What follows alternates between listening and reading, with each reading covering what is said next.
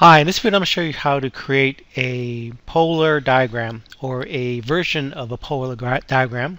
It's also known as a polar chart or a coxcomb chart. So what is a polar diagram?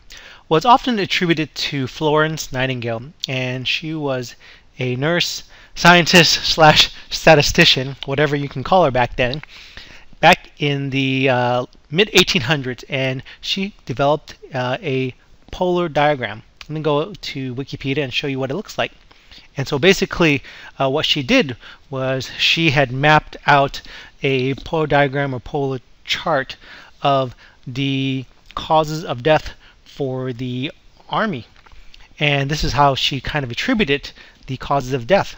So in the way that she had created this polar chart is each slice uh, represented a certain period of time, August, September, October, and each of the different colored areas was a portion of the deaths that were attributed to different causes. So we have three areas here. So basically, she drew this by hand. Of course, she didn't have Excel back in the day, but uh, this type of diagram or this type of chart is something that you can create, and basically, it's a um, pie chart when you think about it.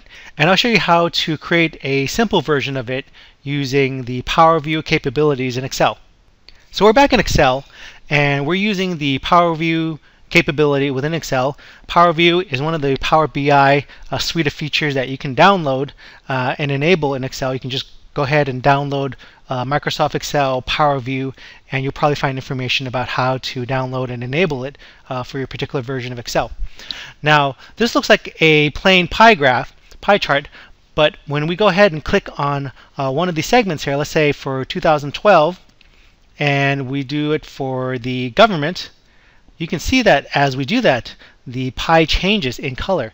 Now, there's only three slices here, so it doesn't really show it as well. But if I went into a different slice, let me go ahead and just click on the uh, Asia, Asia Pacific slice, double click that. Now you'll notice that we have a similar version of a polar area chart. We have our different slices that indicate the different amounts. If I hover over it, you can see that the total amount here is 45,000 but the portion that is highlighted for 2012 for government is going to be 5874.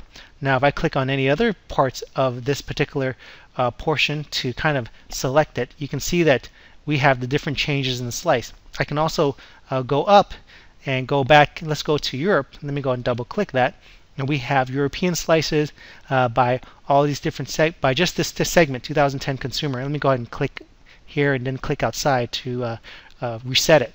So basically this is everything from 2010 to 2012. You can see there, there's, there's not really much that you can see here. But if I click one of these slices, let me see if I do 2010 and click on the consumer portion of 2010, you can see now it's changed here and I've got a kind of a view of that. Now this basically just takes its data from a table here. Me go ahead and go to sheet one.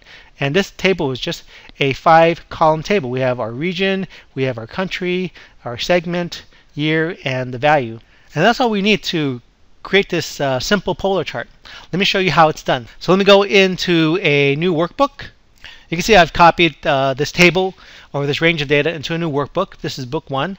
And what I'm going to do is I'm going to go under the insert. Once we have uh, Power View enabled in Excel, I go to insert and under the reports we have Power View. So I'll go ahead and click on that and it's going to open up the Power View uh, uh, particular window. So we have a Power View tab or, or tab and what I'm going to do is uh, I'm going to select some information here but all I want to start off with is just the value. So I'm going to go ahead and unselect that, unselect that, unselect segment and unselect year and I just have the value here. And what I want to do is I want to go under the design tab and click on other chart and click on pie. Now what it's going to do is it's going to create a pie chart and really this is just the value for everything. And um, now I'm going to start filling out the other fields. You'll notice now that there are more fields here. And so for the color, I'm going to add in the region as the first one. And then I'm going to add in country. So basically later on, I can drill down on it when I double click on each one of these slices. So let me go ahead and make this a little bit bigger. Uh, probably bring this down here a little bit. Uh, bring it over. Well, actually, I'm, I'm going to make it. Uh, let me pull it up a little bit. That's a bit too small. And just kind of make it a little wider over here and kind of bring this one down. Right? And so now I have this. Now, if I double click it, you, will notice that it goes down to the different countries here. So because we've got country and region, um, double click that. It doesn't go any further because the hierarchy only goes from region to country. Let me go ahead and click out here and uh, go ahead and drill back up and go back to the different regions, Asia Pacific, Europe, North America. What I want to do now is add another uh, chart here. So I'm going to go ahead and click outside of that. So you see it's no longer selected. You know, since I've clicked outside of it, the fields are gone. If I click in here, inside here, you, the fields appear and the selection is here. If I click outside of it, the fields are gone. And basically now I can drop this down on my Power View fields and I'm going to create a another object here. So so now I'm going to do the same thing I did earlier. I'm going to add the uh, value here. And basically it's giving me a table with the value. And what I want to do is I want to change that into a bar chart. So I'm going to go ahead and go into bar chart and go to stack bar chart. Let me go ahead and just kind of uh, move this out a little bit so it gets gives a little bit more room here. And so basically I want to add to that bar chart. I want to add the the value is going to be the value of this could be sales, right? So we have that as a summation there but I want to add year as part of my axis. And the second thing I want to do is I want to add my segment here. I'm going to add it into the legend here. Right, and so I've got my segment here. I could swap. I can make the year as a legend or the segment as the axis. Depends on how I want to uh, have this filtered later on. So let me go ahead and just kind of um, make this a little bit longer here so I can see the other year there. All right, let me go ahead, or I can just make this one a little bit smaller. Click on here, let's see. Let's. Oh, that one's big. Let me go ahead and just make this a little bit smaller so I can I can uh, see it a little bit better. Uh, let me go ahead and make sure that it turns into a hand. Let me move it down a little bit.